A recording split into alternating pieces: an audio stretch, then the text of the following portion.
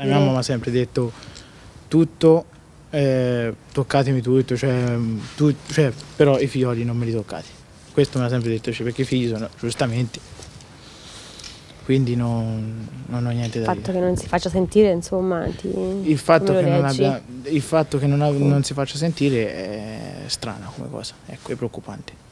Susi Paci manca da casa dallo scorso 23 gennaio a parlare uno dei due figli della donna, sempre più preoccupato per la misteriosa scomparsa della madre. L'ultimo contatto telefonico con Susi, prima che di lei si perdessero le tracce, risale al giorno della scomparsa. Con un sms infatti rassicurava il figlio del suo imminente ritorno. In quel momento ho pensato che avesse voluto fare lei una cosa, insomma, volontaria, che fosse andata via, però che la mattina dopo, cioè il giorno dopo per me doveva essere a casa.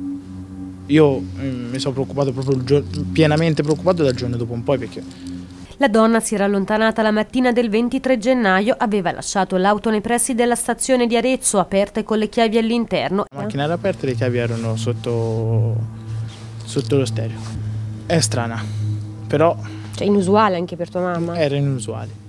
Susi era poi salita su un treno direzione Napoli, qui avrebbe incontrato un 45enne conosciuto in Chad, Teddy Cafiero, come riporta il TGR Toscana, con lui avrebbe trascorso la notte in un hotel. Il mattino seguente l'uomo dice di averla riaccompagnata nei pressi della stazione, ma da quel momento Susi è stata come inghiottita nel nulla. Teddy Cafiero risulterebbe al momento iscritto nel registro degli indagati, un'iscrizione tecnica necessaria per eseguire accertamenti investigativi. Intanto proseguono senza sosta le indagini portate avanti dalla squadra mobile. Dall'inizio della prossima settimana infine dovrebbe arrivare il via libera dai social network Facebook, Instagram e Twitter alla Polizia Postale di Arezzo per avere così accesso ai profili di Susi, nessuno dei quali mai più attivato dal momento della scomparsa. Non ho niente contro di voi, voi state facendo il vostro lavoro e lo state facendo, ho da ringraziarvi, nel senso lo state facendo al meglio che si può, anzi ho visto che avete diffuso la cosa e anche bene perché